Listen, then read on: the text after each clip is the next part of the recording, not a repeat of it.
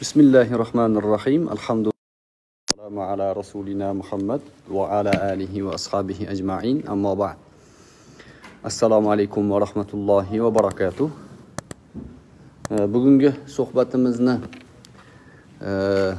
navbatdagi mavzusi ya'ni imkoniyatimiz o'sha aqidalar e'tiqod tushunchalari islom dinining maqsadi shar'iy asoslari to'g'risida inshaalloh robbil alamin qisqaroq bir suhbat e, o'tkazamiz. Maqsad o'zi islomni to'g'ri anglash. To'g'ri to'g'ri anglash tushunish va islomni to'g'ri asosda yashash e, maqsad qilamiz. Buning uchun islomni to'g'ri anglash uchun ya'ni islom bilan to'g'ri hayot kechirish uchun birinchi nima qilish kerak? Islomni tushunish kerak. Islom olam shumul din. Olam shumul degani hamma ham amal qilsa bo'ladigan din. Islom bir toifani qo'llab quvvatlaydigan bir jamoanigina tashkil qilib hayot kechirishi mumkin bo'lgan din emas. Islom musulmonman degan shaxsiyatni har biriga to qiyomatga qadar dasturul amal bo'ladigan xoh axloq xoh aqida xoh fiqh bo'lsin xoh ijtimoiy masalalar bo'lsin barcha masalalarda uni muammolarini hal qila oladigan din. Shu bilan birga mana shu islomning olam shumulligi ko'pchilik ya'ni ko'pchilik emas mutlaq insoniyatni muammolariga javob berish qobiliyati ba'zan suiiste'mol qilinadi. Qanaqa qilib? Odamlar o'zlari qandaydir siyosiy tashkilot tuzib olib siyosiy tashkilotlarini ya'ni qo'llab quvvatlash rivojlantirish uchun odamlarni e'tiqodiy diniy tuyg'ularidan foydalanmoqchi bo'lishadi. Mana shu faktor mana shu omil ko'pincha ahli sunna val jamoaga to'g'rirog'i islom dinining asl mohiyatiga zid natijalarni keltirib chiqaradi. Tarixda judayam e, mashhur bu hodisalar islom dinini oz muddatda yigirma uch yilda nozil bo'lgan. Payg'ambarimiz sollallohu alayhi vasallamga yigirma uch yilda islom to'la to'kis nozil bo'lgan va islom butun yer yuziga qirq yilda tarqagan. Butun yer yuzi demayliku qirq yilda eng cho'qqiga chiqqan. Islomni kulminatsion nuqtasi yer yuzida qirq yilda butun insoniyatning ro'barosida haq bilan zohir g'olib bo'lishi mo'jiza bu. Oddiy bir tashkilotni qilib bunaqa rivojlantirib inson qilolmaydi buni. Endi hozir asosiy mavzularimizda bizga e, real voqelikda hizbi tahrir jamoalarini tushunchalari e, odamlar ichida biroz ma'lum bo'lgani uchun hizbi tahrirni misol keltirsak bo'ladi. Tashkil bo'lganiga ellik to'rtinchi yil bo'lsa oltmish olti yil bo'ldi yetmish yilga boryapti. Yetmish yilda bir jamiyat tuzish u yoqda tursin bir oila qurolgani yo'q bular bir jamiyat tizim sistema u yoqda tursin bir ummatga foydaliroq bitta mahalla qurolgani yo'q. Islom qirq yilda butun dunyoni lol qoldiradigan taraqqiyotga erishgan. Qirq yilda. Tarixchi ulamolar aytadiki islomning kulminatsiyasi eng yuqori cho'qqisi qirq yilda bo'lgan. Qirq yildan keyin faqat orqaga qaytish bo'lgan hozirgacha. Islomning ilohiy din ekanligiga mana shu siyosiy e, baho ham sabab ya'ni misol bo'la oladi. Inqirozga uchragan davlat bir yil yashamaydi. Inqirozga uchrashni boshlagan sistema bir yil yashamaydi. Sssr yetmish yil qurilgan. Yetmish yil qurilgan bir kunda parchalandi. Parchalangandan keyin yo'q hozir sssr desa yoshi sal kichikroq odamlar bilmaydi ham nima edi u deydi. Yoshi sal ulug'roq odam aytadiki ha sssr degan davlat bo'lgan o'n beshta davlatni birlashtirgan dunyoda gapi so'zi o'tadigan davlat bo'lgan atrofida ancha muncha davlatlarni o'tkazib turg'izgan juda kuchli bo'lgan deydi. Lekin orqaga ketgan kunini ertasiga sssr yo'q. Yo'q hozir sssr nimaga odamlar qurgani uchun? Islom ilohiy ta'limot. Ta'limot ilohiy bo'lganligi uchun 40 yildan keyin. 1000 yil hozir 1442 yil. 1400 yildan beri islomga dushmanlarning hiylasi ichki xiyonat jaholat zaiflik fitna fasod munofiqlarning xuruji hamma tomondan ya'ni tovoqdagi oshni och qolgan shoqoli yegandek islomga hujum qiladi. ming to'rt yuz yildan beri. Islom maydonida eng yashovchan din eng jozibali din eng odamlarni tuyg'usiga munosib din bo'lib qolaveradi. Mana bu unsurdan foydalangan dushman shu musulmonlarni ichidan yo'q qilishlik eng katta e, natija berayotgan unsurligini biladi. Shuning uchun ichimizdagi odamlarni aldaydi tuyg'usidan foydalanadi va o'zlarini o'yinlariga o'ynatadi. Hizbi tahrir jamoasi o'sha tashkil qilingandan to ellik yil ichida ellik yil boring qirq besh yil ichida dunyoning hamma joyiga targ'ib tashviq qilingan sun'iy ravishda tarqatilgan lekin odamlar qabul qilmagan. Qabul qilganlari ham johillar bo'lgan. Ilm bor joyga kirolmagan. Ilmli jamoaga ro'baro kelsa erib yo'q bo'lib qochib ketavergan. Ilmni oldida hizbi tahrirni birorta a'zosi tikka turib bera olmagan olmaydi ham. Nimaga? Ilm asosiga suyanmagan bu. Bu siyosiy tuyg'uga ya'ni o'rnatilgan. Odamlar hayajon bilan ho xalifa o'rnatar ekanmiz ho biz davlat qurar ekanmiz ho hamma yo'qni adolatga o'rnatar ekanmiz degan e, havoyi hayo, ya'ni hayoliy bo'lgan hissiyot bilan oldinga ketib qoladi. O'zini surishtirsangiz hali bitta oila qurib oilani qoyil qilib qo'ygan bo'lmaydi. Ikkita odamni boshini qovushtirib bir odamlarga o'rnak bo'lgan odam bo'lmaydi o'zi. Qanaqasiga u o'zi oilasini eplolmaydiyu katta katta jamiyatni havoyi e, orzulari bilan davo qiladi. Mana bu e, go'zal ko'ringan chiroyli ko'ringan shior bilan bu ishlarni boshlagan odamlar islom ummatini yoshlarini millat ichida asosiy e, aktiv bo'lgan ya'ni asosiy harakatlanishi mumkin bo'lgan qismni falaj qilishlik uchun ya'ni e, harakatdan faoliyatdan to'xtatib qo'yishlik uchun ularni mo'ljalga olgan. Afsuslar bo'lsinki ming afsuslar bo'lsinki ularni rejalari amalga oshdi.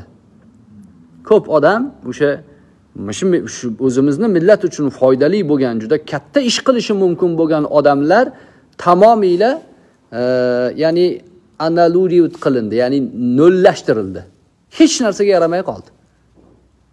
Faqat qamalishga yaradi oilasini parokanda qilishga yaradi bechora onalari ayoli farzandi o'shani tashvishi bilan bo'lib qoldi. Ummatni tashvishini qilish kerak bo'lgan odam o'tirib oldi borib bir joyga. Uni atrofidagilar shunga ovora bo'ldi.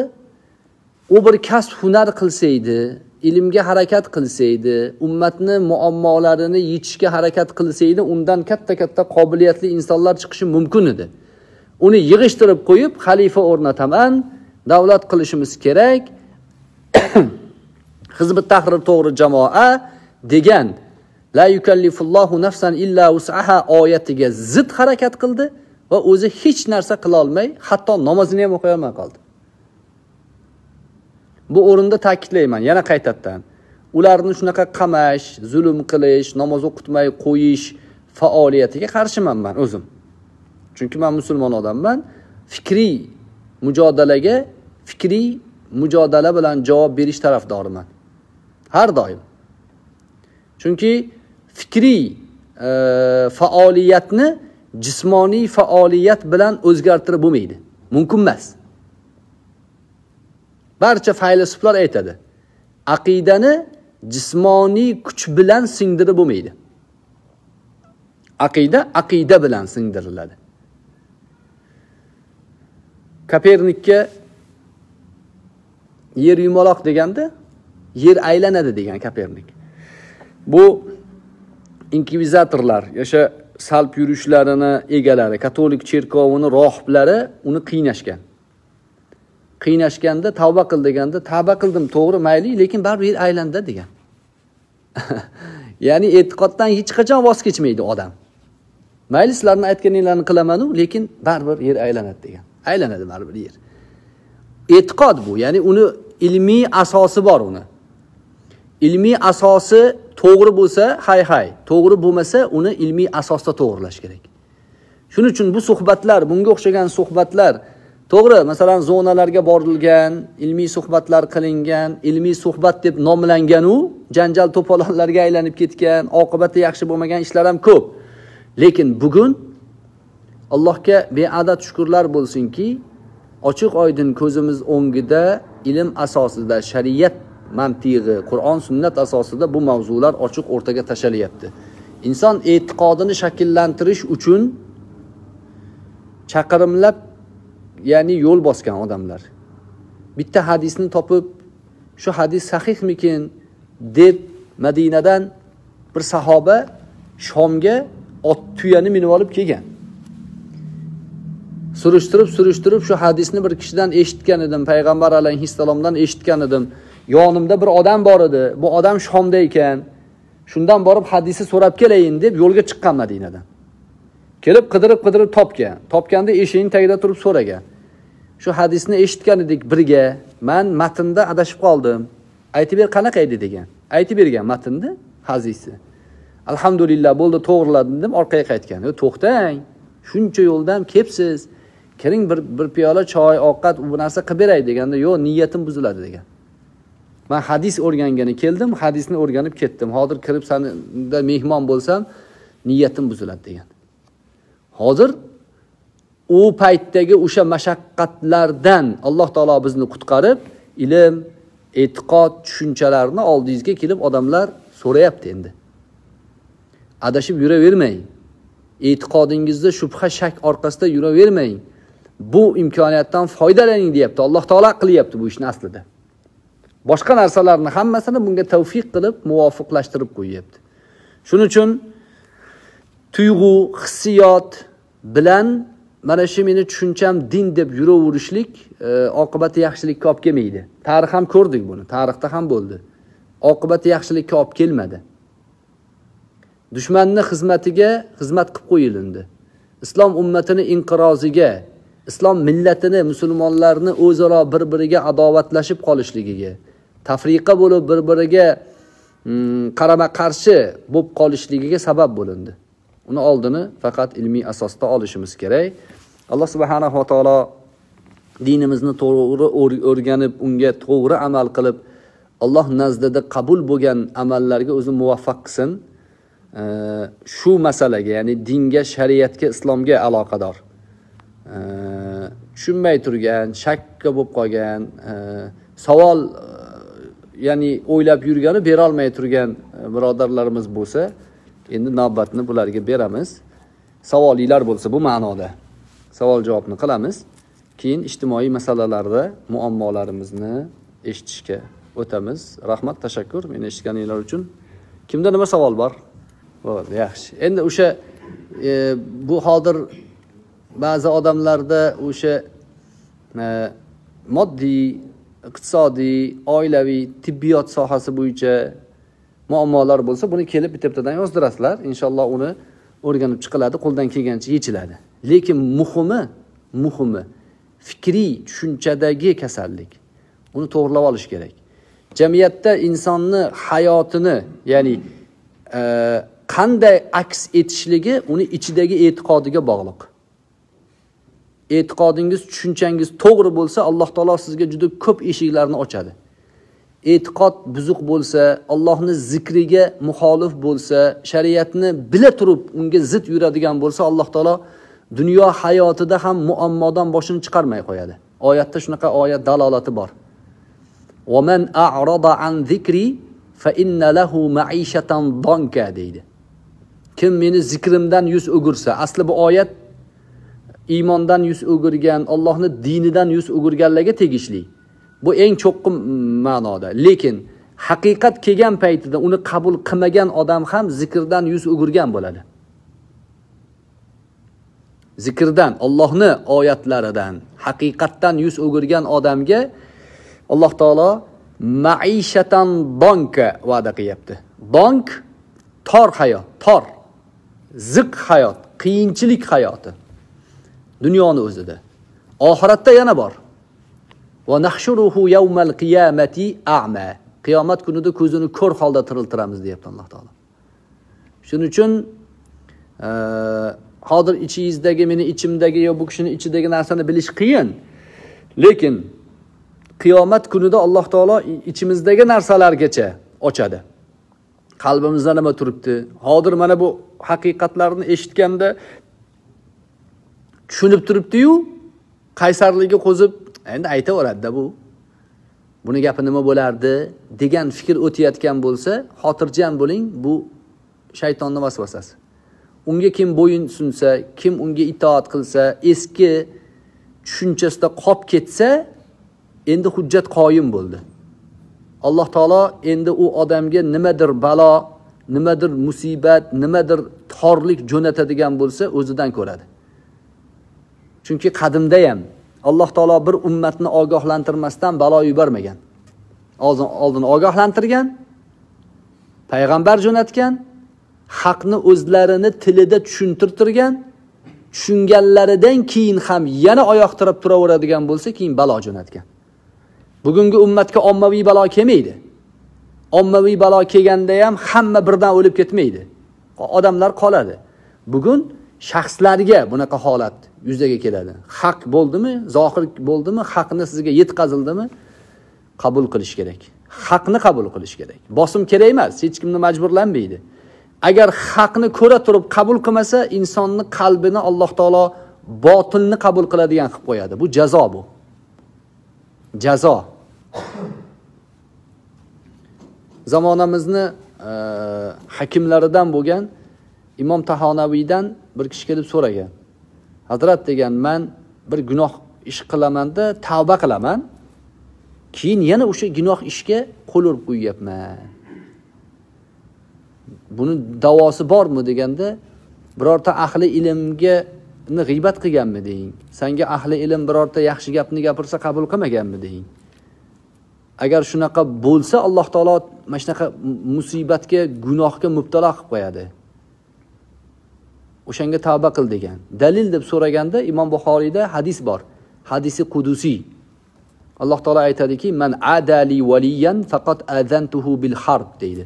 Kim meni do'stimga qarshi dushmanlik qilsa do'st deganda ollohni dinini olimlari ulamolarga ibn hajar asqaloniy mana shu uh, hadisi sharhida ollohni do'sti olim bo'lishi mumkin ollohni do'sti. Kim unga dushmanlik qilsa degani uni haq gapini olmasa. Chunki olim odam bir haqni gapirar ekan pul so'ramaydi hech qachon. Yo ko'rdingizmi birorta olimni da'vat qilgandan keyin endi pul yig'inglar deganini? Yo'q yig'maydi. Doktorga boring o'n minut nasihat qiladi sizga nasihatki tibbiy ma'noda. Oldin o kassaga uchrab keling deydi. Dinni yetkazgan odamni haqiqatini olmasa inson alloh taolo unga qarshi urush e'lon qilaman deyapti. Tahonaviy aytgan ollohni sanga urush e'lon qilishligi ollohni rahmatidan uzoq bo'lib qolish. O'sha e, ollohni e, rahmatidan uzoq bo'lib qolish ibodatdan mahrum bo'lib qolish ko'p narsalar e, sabablaridan biri ekan bu. Shuning uchun man o'zimni olim demayman talaba sifatida sizlarga aytyapman. Ustozlardan eshitganimiz e, ilmga asosiy gaplarni rivoyatini keltiryapmiz. Shuning uchun yana qaytadan ta'kidlab aytyapmiz. Fikringizda qolib ketib a gapiraveradi deyishlikdan ehtiyot bo'ling. Ehtiyot bo'ling. Buni oqibatida alloh taolo sizni kuzatadi.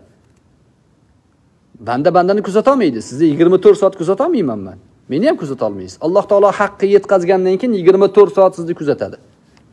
Qalbingizda moyillik botilga moyillik bo'lsa وأما الذين في قلوبهم زيغ فيتبعون ما تشابه منه ابتغاء الفتنة وابتغاء تأويله qalbida buzuq botilga moyil odamlar ana shunaqa narsaga moyil qilib qo'yadi alloh taolo mutashobihlarga ergashib yuraveradi shubhali narsalarga asosi tagi yo'q narsalarga hayotida faoliyatiga mutlaqo foydasi bo'lmagan narsalarga mashg'ul qilib qo'yadi alloh taolo u Allohning jazosi bo'lar ekan undan tavba qilish uchun u boshidan tavba qilish kerak ekan.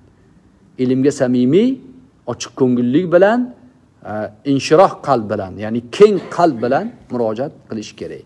Agar unaqa bo'lmasa alloh taolo u odamni yuragini siqadigan qilib qo'yadi.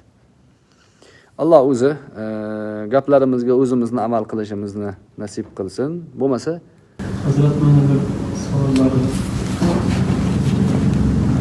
mani ismim shavkat toshkent viloyati bo'ston tumanida tug'ilganman muqaddam shu diniy ekstremistik oqim yo'lida xizmatga chiqib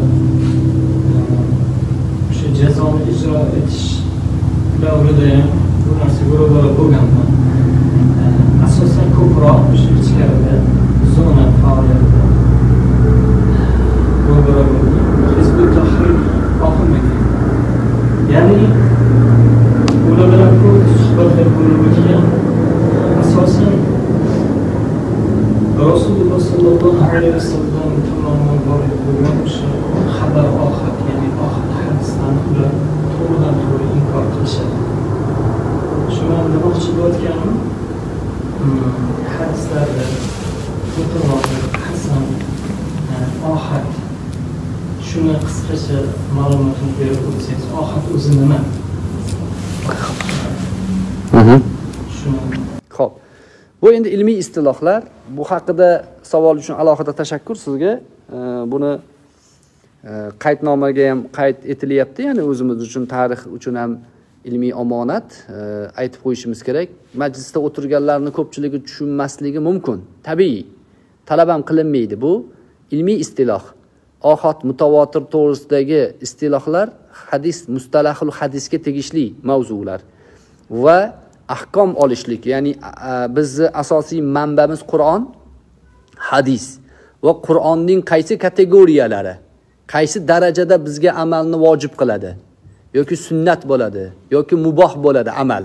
Ularni kategoriyalari matnni o'sha bizning dalil sifatida foydalanayotganimiz Qur'on va sunnatning quvvatiga bog'liq. Ana shu quvvat yuzasidan mutavotir va ohod istilohlari yuzaga chiqqan. Mutavotir nima desa, mutavotir, mutavotir lug'atda ketma-ketlik degani. Ya'ni yomg'irni yog'ishligi, bir yomg'irni tomchisini orqasidan ikkinchisi kutmasdan kelishligi, yomg'ir tanachalarini sanolmay qolishligingizni tavatara deydi. Tavataratul mator deydi. Yomg'irni ketma-ket yog', sharros yo- yog'ish degani. Lug'atda bu. Istilohda nima desa, bir hadis yoki bir e, xabar to bizgacha shunaqangi ketma-ketlikda yetib kelganki, o'sha ketma-ket o'sha xabarni yetkazayotgan odamlarni soni sanog'iga yetib bo'lmaydi degan. Qisqacha ta'rif shu. Yana bitta ta'rifi bor. O'sha xabarni bizga yetkazayotgan odamlar shu xabarni yolg'on tarqatamiz deb kelishib olishligiga aql unamaydi. Tasavvur qilmaydi. Masalan deylik, tarixda o'tgan shaxsiyatlar Vladimir Ilich Lenin desa, shunaqa shaxs tarixda o'tganmi desa, hamma bir ovozdan ha o'tgan deydi. Qayerdan bilamiz?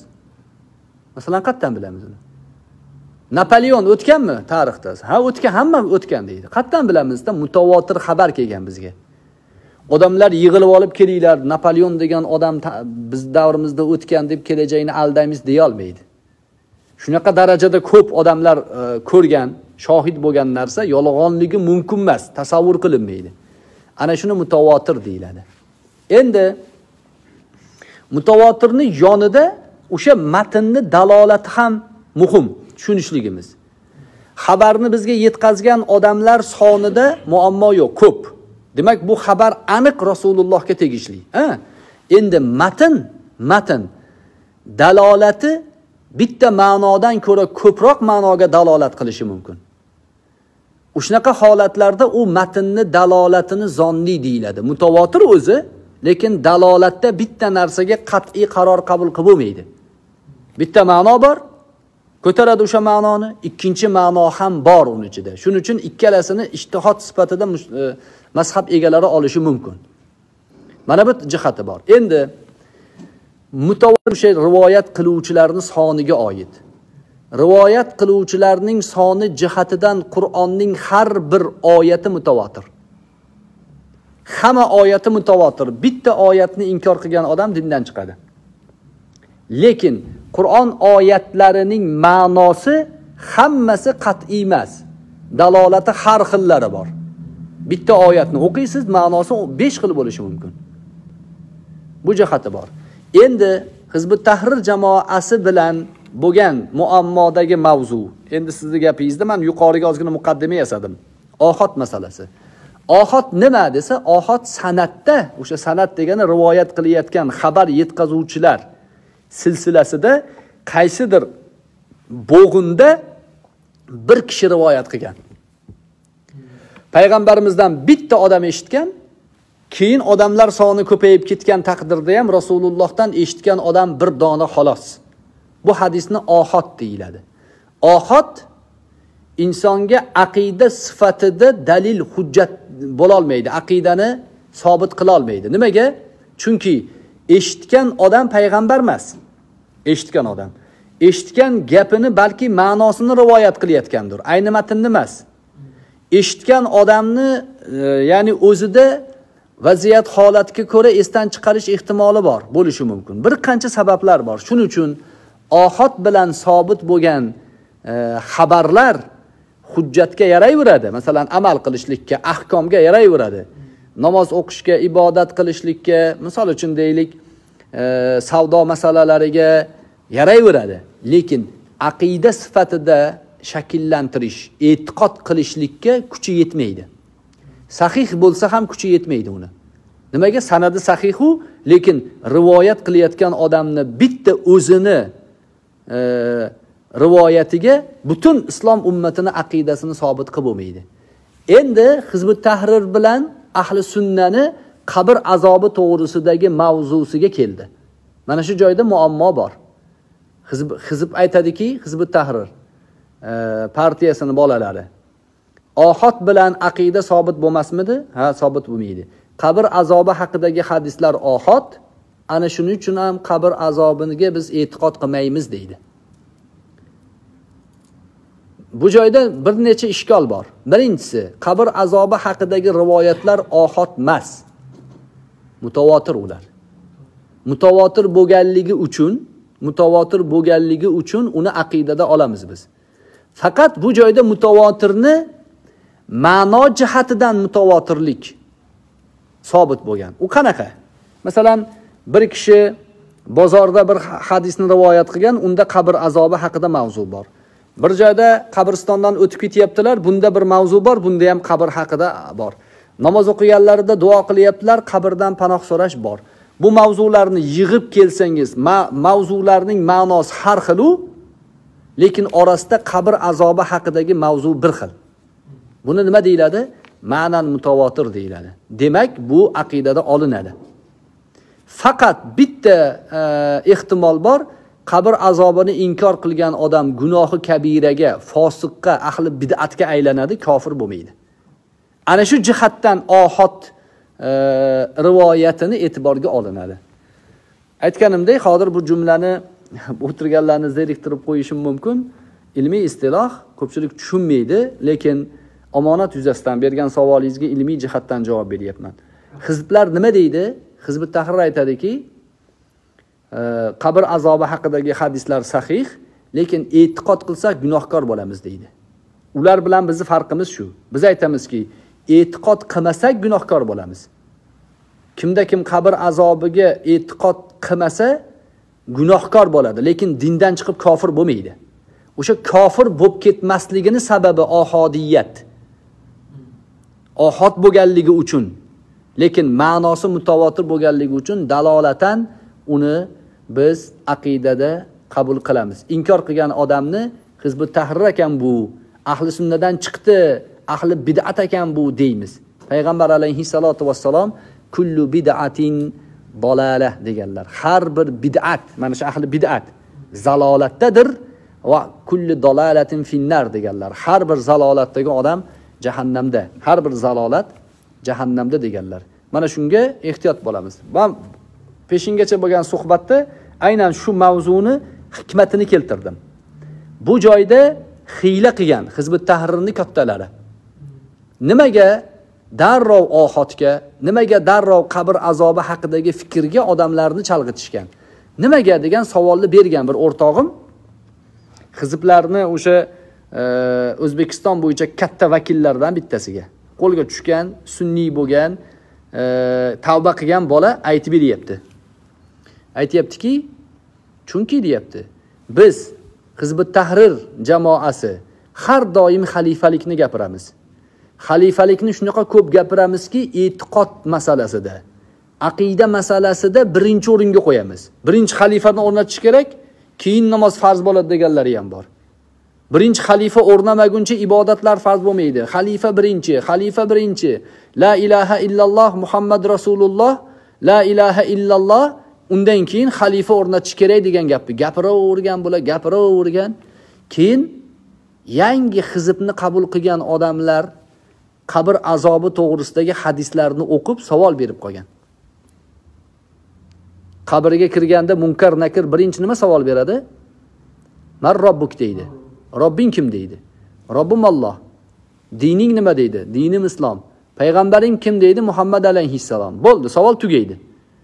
Hizib unga a'zo bo'lgan odam xalifalik xalifalikni eshitaverib eshitaverib bu asos ekan deb qoladiyu kallasiga. Savol bergan. Nimaga qabrda robbing kim dining nima payg'ambaring kim degandan keyin xalifang kim? Man xalifuk demayapti. Degan savol ehtimoli borda. Chunki xalifani o'rnatmasak hamma narsa tamom bo'ldi degan odam qabrda unaqa savol yo'q ekanku degan. Buni oldini olish uchun bunaqangi ehtimoliy savol bilan hizb tahrirni tamomiyla rejasi barbod bo'lishligini sezgani uchun oldindan qabr azobi haqidagi gaplarga hujum qilishgan bular ohot bu e'tiqodga olinmaydi kim e'tiqod qilsa gunohkor bo'ladi hamma urg'un tagida shu bor. Ya'ni sirlari fosh bo'lib qolgan qabr azobi haqidagi hadislarda. Ya'ni xalifa o'rnatishlik mubosharatan vojib amal emas. Vojibga eltuvchi vojiblardan ya'ni vositalardan u. Hech qachon xalifa vasi anaqadan hisoblanmaydi g'oya hisoblanmaydi. G'oyani amalga oshiruvchi vosita hisoblanadi. O'sha vosita yo'q namoz o'qiyapsiz ro'za tutyapsiz muftiy fatvo beryapti amal qilyapsiz halol haromni ajratyapsiz. Sizga hozir xalifani o'rnatish vojib bo'lmaydi qanaqasiga vojib bo'ladi? Qaysi dalilga suyanyapsiz birortasi javob berolmaydi sizga. Nimaga dalil yo'q? Ular xalifa o'rnatishimiz kerak degan jumlani jumlani o'zlarini siyosiy mazhablari siyosiy partiyalarini amalga oshirish qo'llab quvvatlash uchun foydalanish uchun bunga murojaat qilishgan. Asli man buni tagini o'rganib o'zlashtirib bir joyda shunaqangi usulni biladigan shariat bo'yicha bahslashaveraman degan andijonda bo'lsa kerak. Gaplashib bahslashib tursam aytdiki xalifa o'rnatishimiz vojib dedi. Dalil desam dalil yo'q. Ho'p vojib degan narsa shariat asosida bo'ladi. Man o'zimga o'zim nimanidir vojib qilib ololmayman. Shariat vojib qiladi. Ho'p xalifani o'rnatish vojibligiga dalil bormi? Yo'q. Ho'p aytyaptiki xalifani deyapti. Inqilob bilan to'ntarish yo'li bilan bo'lsa ham o'rnatamiz deyapti. Islom dini deyapti inqilob dini deyapti. Ya'ni to'ntarish dini. Islom bor joyda to'ntarish bo'lishi kerak. O'shanga ular mitingga ko'p urg'u beradi. O'shanga ular e, shunaqangi demokratik da'volarni qiladigan jamiyatlardan yordam so'raydi. O'shanga ularni umri plakat ko'tarib o'tib ketdi. Faqat plakat ko'tarishadi yevropada. Boshqa hech narsa qilishmaydi. Ummatga plakat ko'tarishni o'rgatishadi xolos. Kim aytdi? Mana shu jumla qayerdan bor islomda bor deyapti. Keltir dedim. Islom inqilob dini. Keltir qayerda bor shu gap. Desam yo'q. Man aytaman lekin buni qayerda borligini. Bilasanmi buni kim aytgan dedim. Kim aytgan dedi karl marks aytgan. Karl marks aytgan. Har qanday davlat inqilob bilan e, ya'ni ag'dariladi. Fikrlar inqilob bilan amalga oshiriladi. Shunga dedim sizlarni tushunchanglarni asosi sotsializmga ya'ni e, asoslangan. Leninni tushunchalariga asoslangan. Lenin e, marks engels tushunchalari. Yaxshilab o'qisangiz o'sha joyda kommunizm da'vosi bor. Kommunizm quramiz degan gapni kommunizmni olib tashlashganda xilofat quramiz deyishgan. Tushunyapsizmi? Ularni o'sha sotsiologik e, resurslaridan olib foydalanib islomiy to'n kiydirishgan unga. Tagini ko'rsangiz boshqalar tomonidan tizib berilgan narsa. Shuning uchun o'zlariga muvofiq kelmasa qabr azomini ham inkor qilishadi. O'zlariga to'g'ri kelib qolsa mana bu oyat hizbi tahrir uchun nozil bo'lgan deb qo'rqmasdan aytib yuborishaveradi. Maqsad o'zlarini e, siyosiy maqsadlarini amalga oshirish uchun dindan foydalanish bu yo'lda musulmonlarning tuyg'ulari bilan o'ynashish kim bunga ergashsa qurbon bo'ladi qurbon bo'ladi. Hamma faoliyatdan mahrum bo'ladi. Oilasiga yordam berolmaydigan bo'lib qoladi. Ko'ryapmizku axir. Man buni ta'na ma'nosida aytmayapman. Ulamolar aytgan edi yo'q deyishdi mana hayot ko'rsatdi bularga. Endi bu musibatdan tavba qilinsa inshaalloh orqadagi musibatlarga alloh taolo ajr beradi. Tavba qilmasa bu musibatlar unga dunyoda jazo oxiratda alohida so'roq bo'ladi. Alloh xayrli qilsin. Yana nima savol bor? Ustoz agar mumkin bo'lsa. Hozir mana ijtimoiy tarmoqlarda turli xil o'zini nima deb atagan nima terroristik tashkilot yoki oqimlarga a'zo bo'lganlar saytini ochib olib o'sha nima targ'ibot ishlarini amalga oshiryapti shular haqida tushuncha bersangiz. Hozir hamma foydalanyapti baribir ijtimoiy tarmoqdan o'zi o'sha haligi xabarni qabul qilish masalasida e, barchamiz bilib qo'yishimiz kerak. Xabarni inson har doim e, qabul qilish kriteriyalari bor. Xabarni havos xomsa bilan qabul qilinadi o'zi. Beshta e, ya'ni his qilish bizda a'zolarimiz bor. Ko'rish eshitish tan bilish hid bilish ushlab ko'rish bilan. Ko'rish o'qish orqali ko'rish orqali eshitish xabarlarni eshitish orqali bo'ladi. Qolganlari ma'lum o'zi. Mana shu xabarlar ichida eshitganiga amal qilib ketaveradimi desa din masalasida kimda kim eshitganiga amal qilib ketaversa yolg'onchiligiga mana shu kifoya deganlar. Kafa bil mar'i kaziban yoki isman yigitni gunohkorligiga yoki yolg'onchiligiga kifoya qiladi. Nima edi? Bikulli ha? Eshitganini gapiraverishligi kafa bil mar'i kaziban an yuhaddisa bima sami'a. Eshitganini gapiraversa gunohkor bo'ladi. Yolg'onga tushadi xatoga kirib ketadi. Ijtimoiy tarmoqlarda din masalasida shariat ma'nosida gapirayotgan odamni asli orqasida kimligini bilmasdan turib ergashib bo'lmaydi. Abrori gapi emas bu ibn sirinni gapi. Ibn sirin tobiiylardan islom ummatining katta zotlaridan abdulloh ibn muborak abu hanifani shogirdlaridan imom buxoriyni shayxlaridan. Bular aytgan as sanadu minad din unzuru amman ta'khuduna dinakum.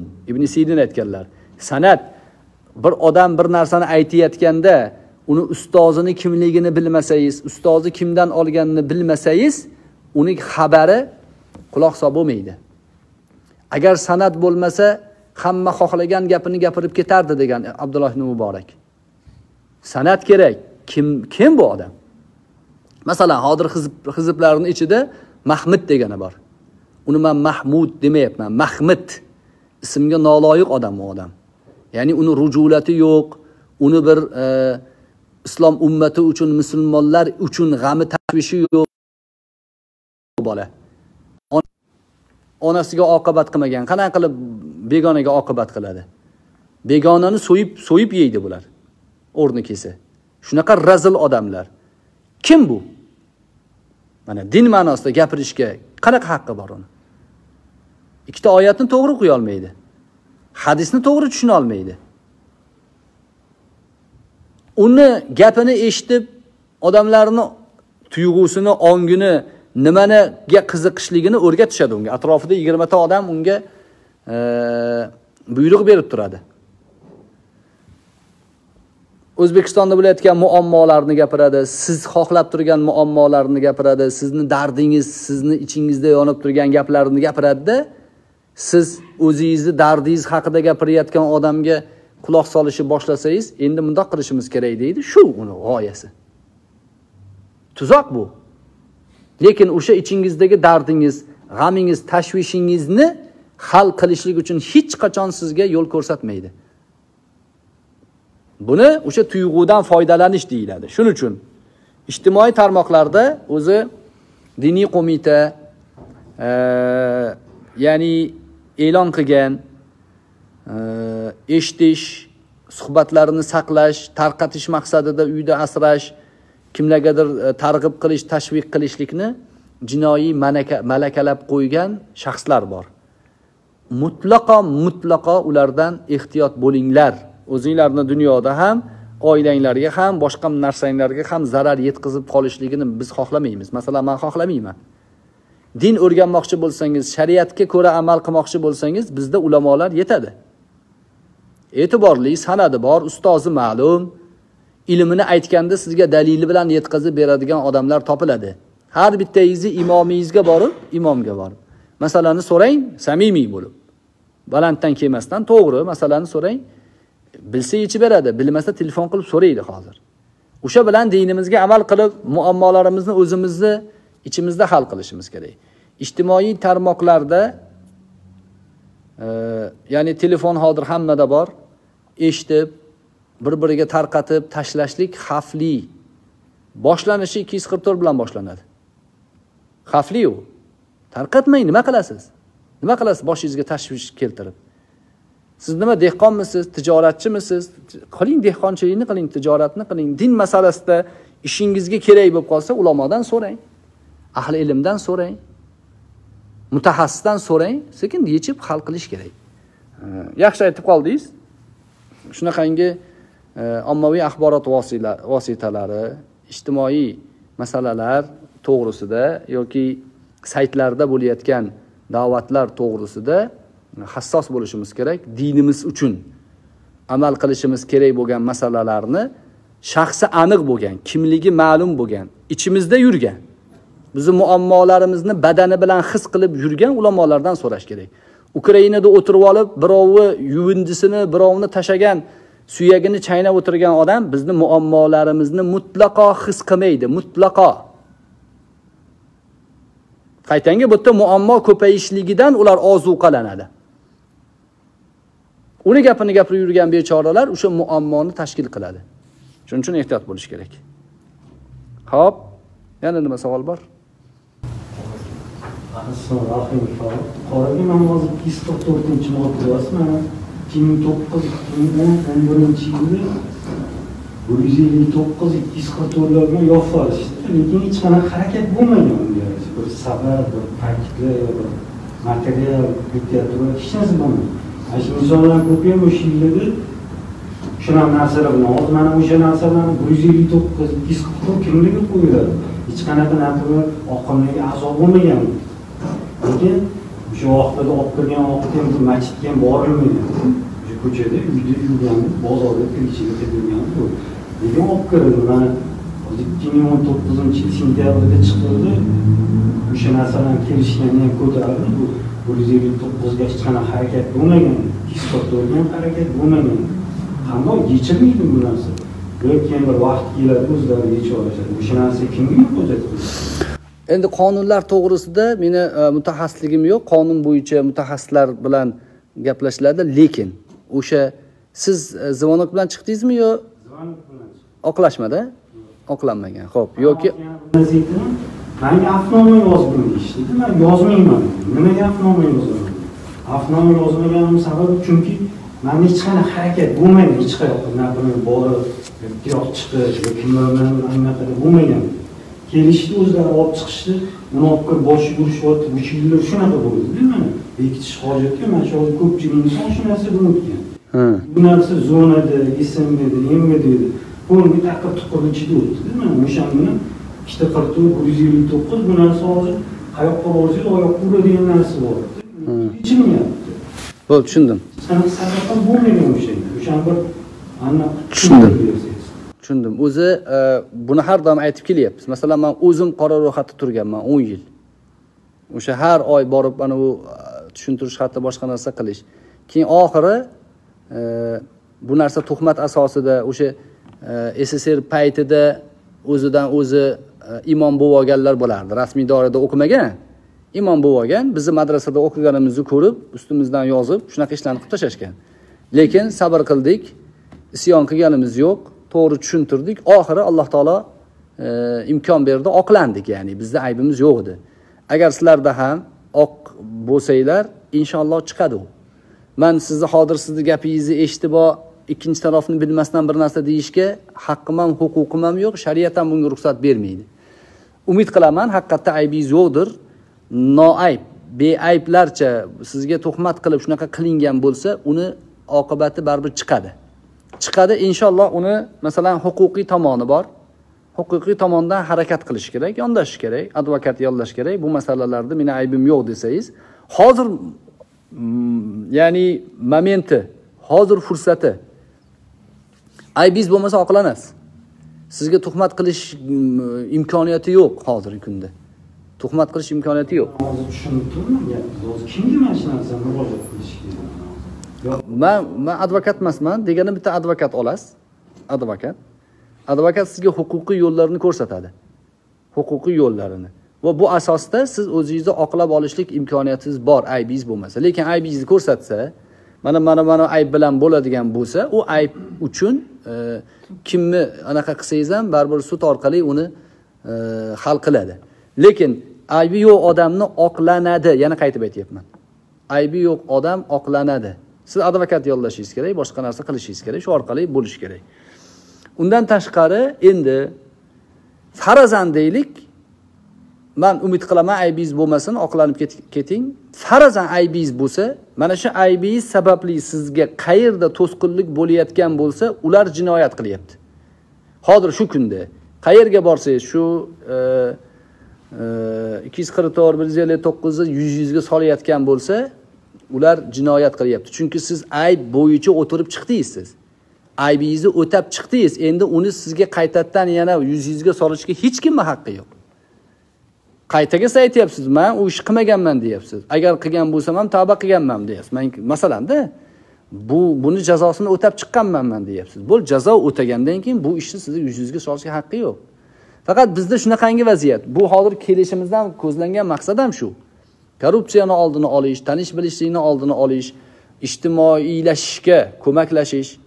Hozir siz ishga boraman deyapsiz sizni statiyangizni ko'rib e deyapti. Noto'g'ri u kimni haqqi bor? Shuning uchun sizni familiyangizni yozdiramiz hozir. Ish masalasida bularni bir telefon nomerlarini ham yozib bir uchraydigan telefon nomer shaxsiy savol javobim borki hozir o'z telefoningizni bersangiz keyin bir gaplashamiz.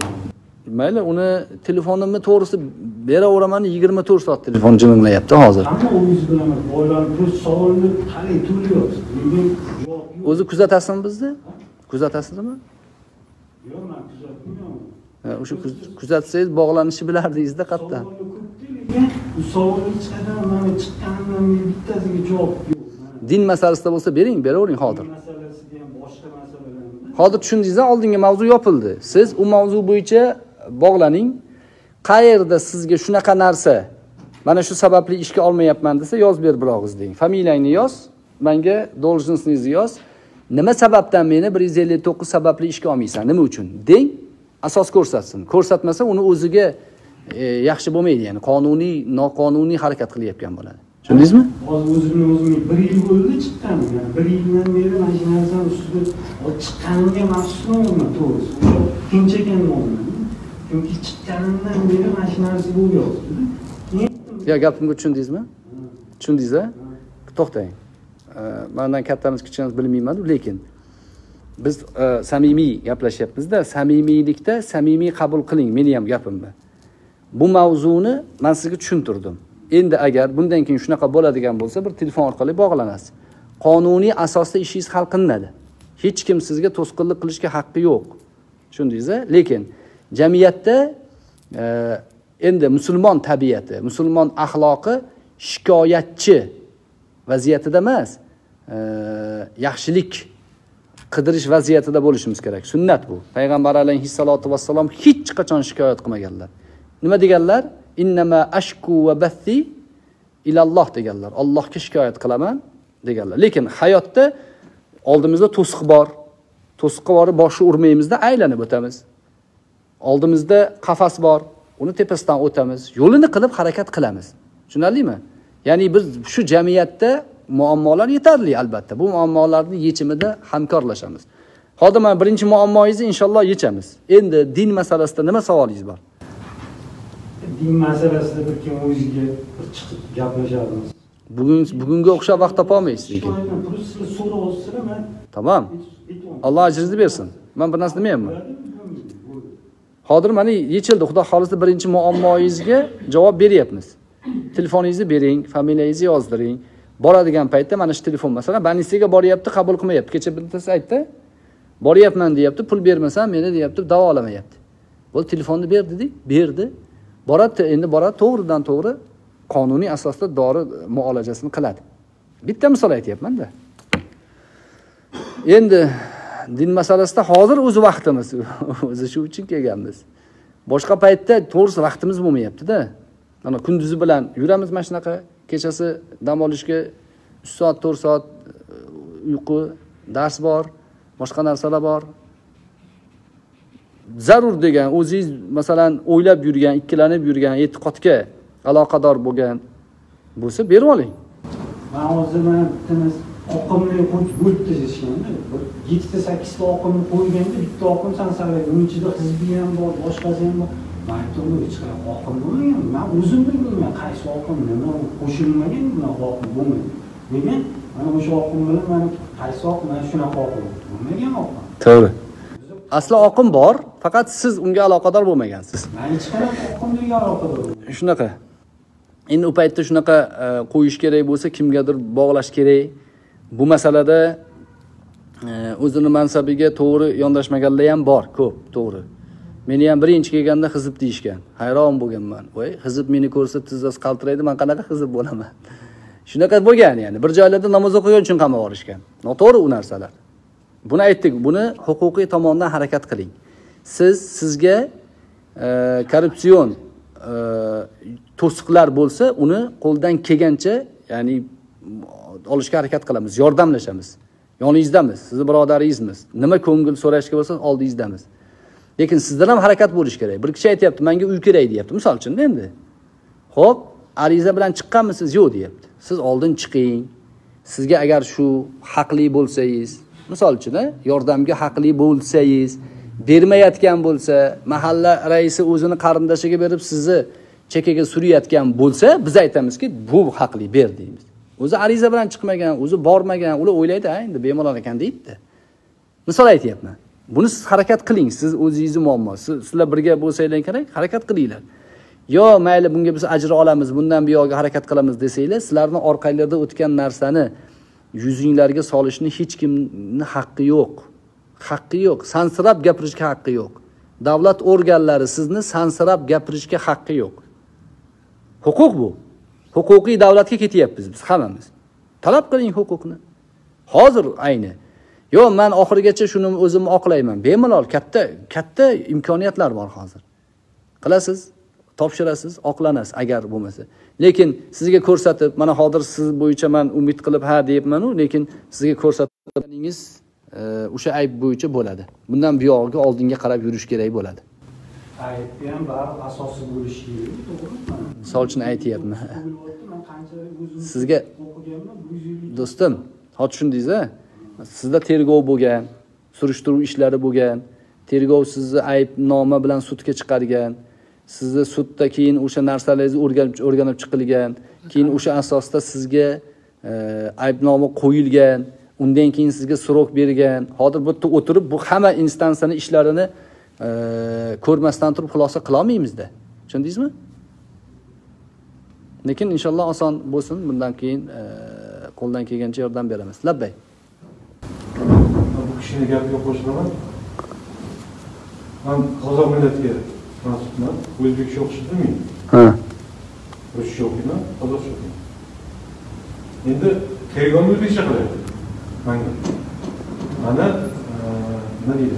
Bir yuz ellik to'qqiz dars ikki yuz qirq to'rt. Nimaligini tushunmayman ikkitasini qo'yaylik ikki yuz yigirma uch bilan tushundim. Chegaraga и то yana singlim turkiyaga o'shani oldiga borganman bitta aybim o'sha propiskadan chiqib ketganman. Man ana aviarni ololmadim shundan mana ikki yuz yigirma uch bilan tutib turib keyin oxirida o'n besh kun yigirma kun sakkiz oy toshkentga olib kelib taqir tuqir qilib sankovich maymunzada qoldim. Man buni gapiga qo'shilaman tamom. Meni gapimni eshitdingiz shu narsani qanday qanday tushunsa bo'ladi? Hozir aytdim. Men gap- Tushundim. tushundim. Mana hozir man e, advokat emasmanda yuri- yurist emasman. Man aytyapmanki sizga yo'l ko'rsatyapman. Agar mana shu masalalarda e'tirozingiz bo'lsa bir advokat yollaysiz huquqshunos. Manga aytgan gaplaringizni hammasini huquqshunosga aytasiz u yozadi.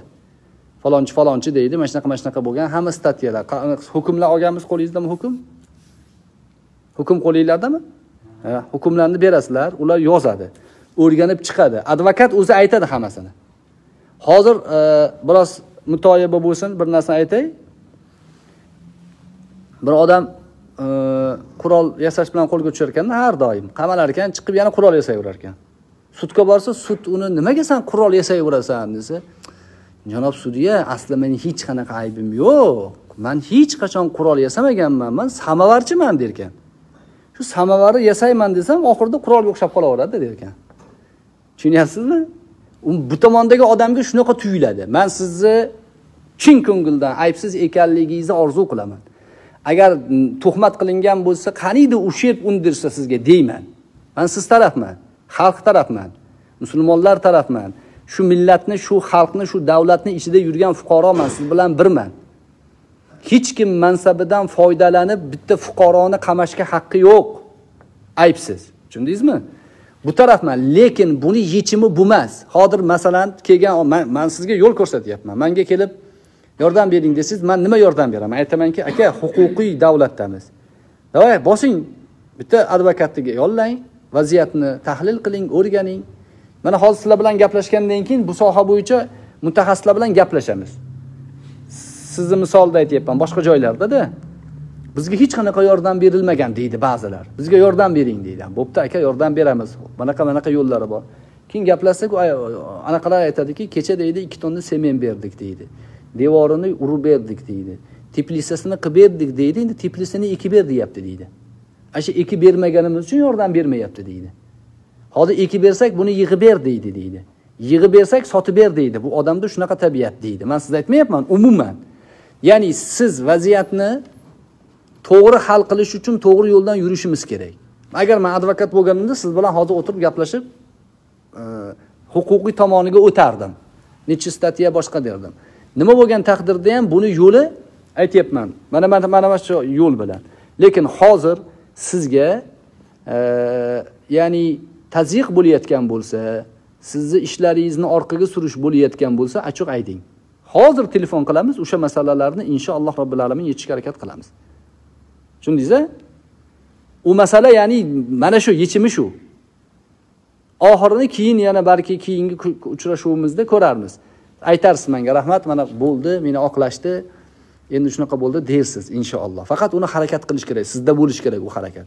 Ba'zilar aytadiki yo'q mayli man ajr umid qilaman. Tuhmat hech qachon hech qachon. Ajrsiz qolmaydi. Yusuf alayhissalom o'n sakkiz yil o'tirgan. Nima uchun o'tirgan? G'irt tuhmatga o'tirgan. Bitta xotin yaxshi ko'rib qolgan vazirni xotini. Man bilan yashaysan degan yo'q degan u kishi. Bo'lmasa qamataman degan qamat degan qamatib yuborgan assijnu ahabba ilayya mimma tad'unani degan. Manga zindon yaxshi san bu jinoyatdan ko'ra degan. Zinodan ko'ra manga zindon yaxshi degan alloh taolo zindonni berdi. u o'n sakkiz yil o'tirdi zindonda. Birorta aybi yo'q edi. Chiqqanda birinchi gapi nima bo'lgan? Nafsi degan. Man o'zimni pok demayman degan. Hozir biz aytyapmizki meni aybim yo'q deyapmizu. Yusuf alayhissalom man o'zimni aybsiz demayman degan. Degan. Nafs yomonlikka buyuradi degan. Man deganim sizlar aybdorsiz deb ta'na qilmoqchi emasman. Islom tushunchasini bag'ri keng inson fikri ufqi baland insonni tabiatini o'rgatyapman umid qilsangiz inshaalloh katta ajr olasiz yo'q man shu dunyoni o'zida oxirigacha boraman desangiz hozir erishasiz inshaalloh erishadigan payt erishasiz Ha, bunga huquqni qo'lga kirita olasiz Allohdan qoraki man hech manda shubham yo'q. Umidxona просто mana shunaqa hozir har safar kelinganda shunaqa savollar ko'tariladi. Bu savollar savolligicha qoladi. Bittasi hal bo'lmaydi. Bular. yo bittasi demang hal bo'lyapti Man hozir sizga uch savolni berganim, siz o'shanga tramplin bo'ling, biz o'shanga chiqaylik. mana turibmiz-ku Mandoq bo'ladimi? Man man optijistman, qandoq? Man o'zim beayb demayman. Balki bordir ayb, qayerdadir, nimalardir. Lekin man qanchalik bilishim bo'yicha o'sha 159 kimga qo'yiladi, uni o'qib ko'rdimda, haqiqatdan bir tarixda o'lib ketsak, bir fitrat mana shunaqa o'xshagan odamlarga o'xshagan bo'larkanmiz. Zonalarda ham o'sha haykaldan qo'yib mana o'z vaqtini buyuk siymolari bo'lgan mana shunaqada o'tib ketsa, Yo, yo. Ko'rdingmi mana shunaqa? fitrat fitratga o'xshamang qo'yavering Yo, endi aytaman. fitratdan siz balandroqsiz ishonavering yo gapimni tushundingizmi? Hozir siz man bilan o'rtamizda devor yo'q. Distansiya saqlamayapmiz ochiq oydin gaplashyapmiz sizga aytyapman. Mabodo erishaman desangiz erishish imkoniyati bor lekin yusuf alayhissalomni yo'lini tanlayman desangiz unga katta ajr olasiz. Oldinga qarab yuring. Oldinga qarab yuring. Ehm, inson fazilatini ko'rsatishga majbur emas. Fazilatingiz bo'lsa tavba qilsangiz allohga astoydil. Tavba qilsangiz alloh fazilat ko'rsatadi. Yu'ti oyat bor. Har bir fazilat egasini fazilatini olloh beradi. Bekitmaydi uni. Faqat uni sababi nima bo'lishi kerak? Sof ma'noda allohga qaytish kerak. Fafirru ilalloh. Abu bakr siddiq roziyallohu anhu kim edilar? Savdogar edi oddiy savdogar edi. Hozir millionlagan savdogar bor. O'ladi hech kim uni eslamaydi bilmaydi hech kim. Lekin nimaga abu bakrni eslaymiz hozirgacha? Savdogarligi uchunmi yo'q. Sodiq bo'lgani uchun. Bilol roziyallohu anhuni tarixda odamlar eslashi mumkin bo'lgan birorta imtiyozi yo'q edi. O'zi qul edi. Cho'ntagida bir tiyin puli yo'q edi. Nasab nasl hech narsa yo'q edi. Husn yo'q edi. Lekin millionlagan odam hozir o'g'lini otini bilol qo'yib faxrlanadi. Bu fazilat qayerdan keldi unga? Sodiq bo'lgani uchun. Bo'ldi sadoqatda turing. To'g'ri yo'lni biling inshaalloh. Bu sizga taklif. Yo'q man huquqiy yuraman desangiz haligi taklif. Yuring hozir imkoniyat bor. Faqat erishasiz nimaga? Oqlandi degan narsaga erishasiz. Lekin siz oq bo'lsangiz xotirjam bo'ling hech qachon sizni hech kim qora qila olmaydi. Alhamdulillah xotirjamman Tamam. mana shunaqa savollar bo'lganda joyiga kelganda o'shani beraman qani o'sha hal bo'larmikin lekin baribir javob bo'lmaydi. Ya'ni men gapimni hozir aylanmadim lekin meni gapimni menimcha tushunmayapsiz siz. Yo har qanday vaziyatdan shikoyat topish mumkin. Har qanday vaziyatdan har qanday vaziyatdan shikoyat topish mumkin? Man sizga musulmon birodaringiz kichkina bo'lsam ukangiz katta bo'lsam akangiz sifatida aytyapman. O birodarim musulmonsiz. Siz iymonga qarab yuring. Dunyo sabablari hozir imkoniyat bo'lyapti. Harakat qilsangiz olasiz. Lekin siz ollohdan kattaroq fazl so'rang kattaroq fazl so'rang. Payg'ambar alayhissalomga iymon keltirgan ammor ibn yosirni bilasizmi iymon keltirgan zahoti tazyiqqa uchragan. Aybi bormidi uni? Aybi bormidi? Yo'q edi aybi. Ko'zini oldida sumayya onasini o'ldirishdi. Ko'zini oldida ammorni e, ya'ni dadasini o'ldirishdi. Yosirni o'ldirishdi.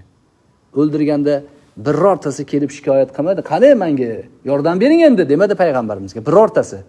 Nimaga? Bu yo'l shunaqa imtihonli yo'l. Kimdir tuhmat qiladi kimdir sizga zulm qiladi kimdir jabr beradi. Lekin siz jabr beruvchi siz zulm qiluvchi siz tuhmat qiluvchi bo'lmang.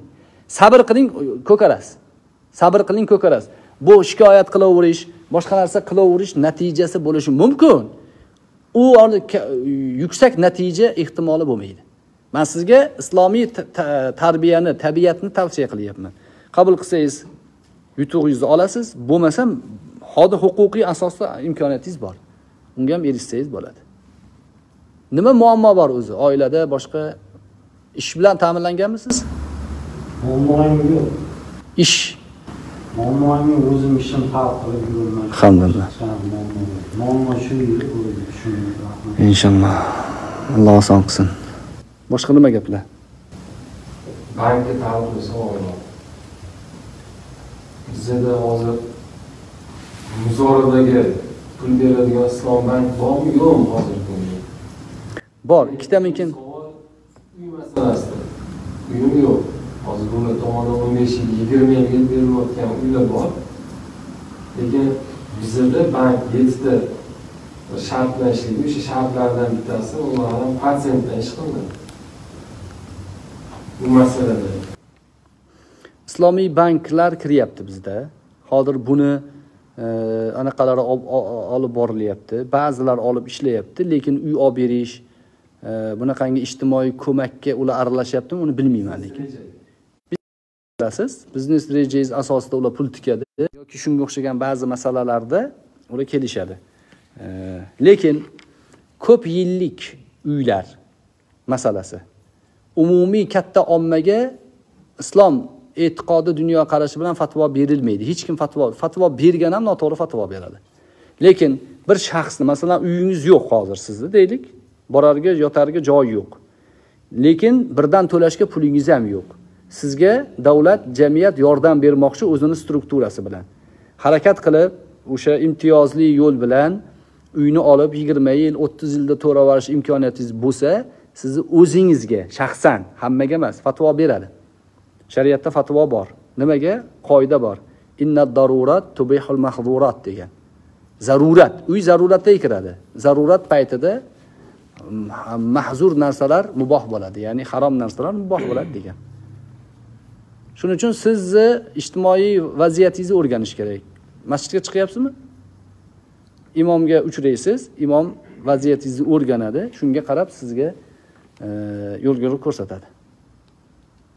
Tushunarlimi muzokaraga siytosiz kirishga hozir bir joylarda qilinmoqdimiz qanaqa o'sha joyga chiqsam bo'ladi? Qanaqa o'sha shu narsa ishlayotgan bo'lsa hozirgi kunda qanaqa topib olsam bo'ladi? Man ham точно bilmayman lekin. Nur degan nurmidi nima edi oti nurmi degan bir anaqa bor. Firma bor edi. Hozir anaqa bilan shug'ullanadi. Moshina moshinalarni berish bilan shug'ullanyapti nanebani bilasizmi? Nanebani.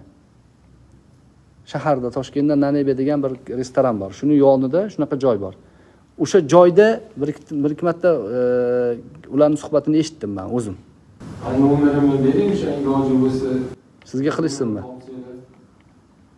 mayli izlab ko'ring lekin bor. Yo ikkita uchta tashkilot harakat qilyapti. Hatto hozir hukumat doirasi- doirasida islom hamkorlik tashkilotlari bu masalani taklif qilgan o'rganilyapti bu. Katta miqdorda kirish ehtimoli bor. Hozir bitta ikkitasi bor. Pulga borib taqalyaptida hammasi. Hammasi pulga borib taqalyapti lekin pul tikilsa xudo xohlasa o'sadigan narsada. Ya'ni? bankdan cheris qatsang bank shuning uchun bo'ldi shuni aytyapmiz biz ham. Gapimga tushundingiz shekilli hozir? Bor ya'ni ikkita yoki uchta e, firmani bilaman man katta miqdorda mablag'larni kiritish biznes rejalarini talab qilish harakatlarini qilishyapti.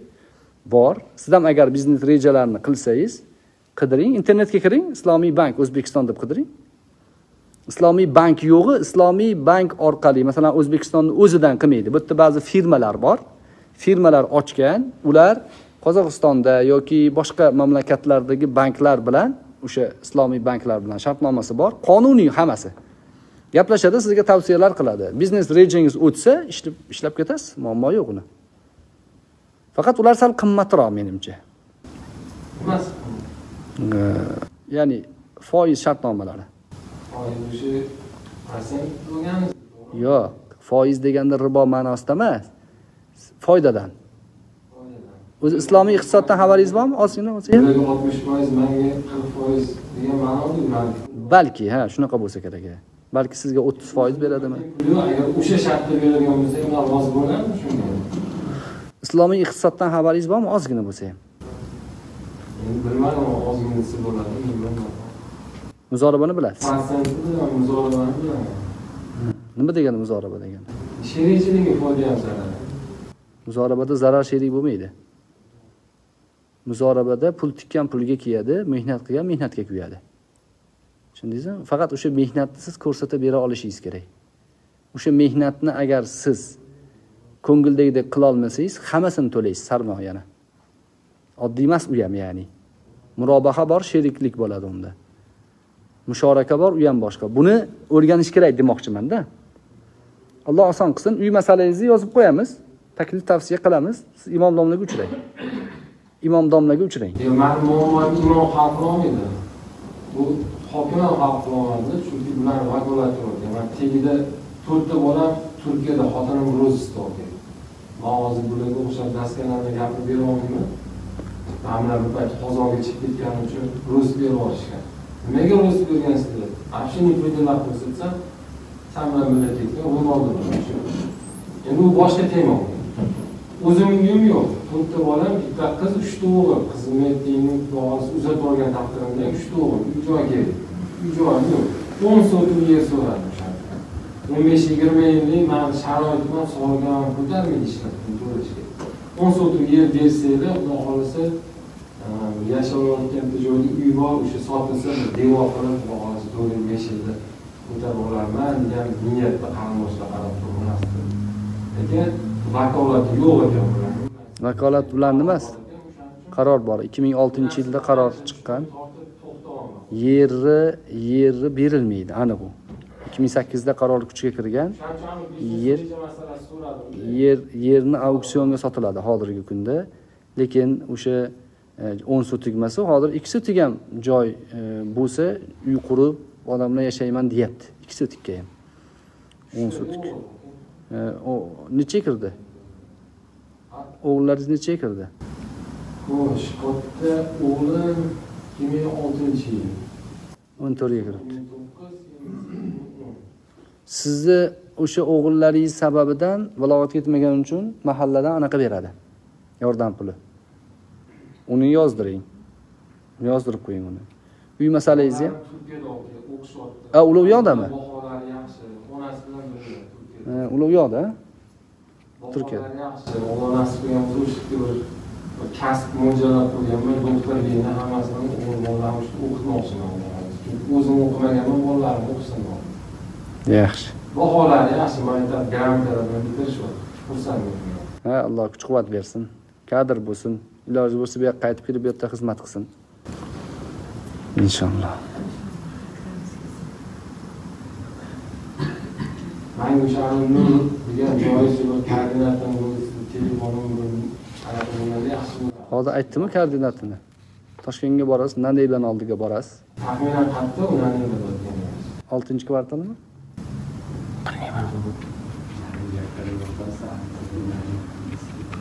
naneba desangiz juda mashhur bo'lgan. Anaqa internetlarda ninabe deb bir kishi biz ninabeda o'tiribmiz degan juda prikol qilishgan yo'q restoran o'shani oldida nima dedingiz o'shani oldida o'sha e, moshinalarni anaqaga beradigan nas nasiyaga beradigan firma bor. O'sha firmaga borib gaplashib ko'ring. Ertaga firmani bosishmasa bo'ldi bu yerda ham ko'pchilik ko'rib turibdi. Bizga ham kerak deb. Ho'p yana nima?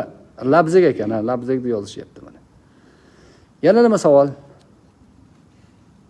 Ijtimoiy masalalarda ham agar muammo bo'lmasa sizlar bilan suhbatlashganimiz uchun xursandmiz. Alloh taolo bu majlisimizni bizga sizga hammamizga foydali qilsin. Familiyalarni muammolari borlarni yozib oldik. Kelmaganlarga Aytib qo'yasan. domla ha. Mani o'g'lim bo'ladi o'rnidan turolmaydi yoyoq chiqsa ham belini sindirishgan tergov paytida. Ko'kraklarida grija belda grija doktorlar muammolari bilan yuribmiz. Mana shu bir hafta to'xtamadik. Hozir doktor doktorga anaqani yozib bersak bo'lmaydimi? Bo'lgan? topshirdik bugun xudo xohlasa. Inshaalloh bo'ldi hal bo'lyapti deyishyapti. Doktor uchun sizlarga yordam berishadi. Qancha yordam kerak bo'lsa iloji boricha mayli qo'ldan kelgan bo'ldi bo'ldi inshaalloh ona xudo xohlasa yordam berishadi. Ho'p buni tugatamiz a سبحانك اللهم وبحمدك نشهد أن لا إله إلا أنت ونستغفرك ونتوب إليك وآخر دعوانا أن الحمد لله رب العالمين parvardigora barchalarimizni o'zing rozi bo'ladigan amallarga muvaffaq qilgin ishlarimizga rivoj bergin bemorlarimizga shifo bergin onaxonlarimiz otaxonlarimizni duolarini ijobat qilgin qilayotgan ibodatlarini qabul qilgin farzand zurriyotlarimizni millatga ummatga foydali kasb hunar egallab ilm shariat yo'lida xizmat qilishlarini o'zing nasib qilgin. Ikki dunyo saodatida bizlarni jam qilgin. Dunyoda iymonimizni hamroh oxiratda rasululloh sollallohu alayhi vasallamning majlislariga bizlarni hamroh qilgin. Va sallallohu va sallama ala rasulina muhammad va ala alihi va ashabihi ajmain. Arham. rahmat salomat bo'linglar. Ho'p rahmat xuống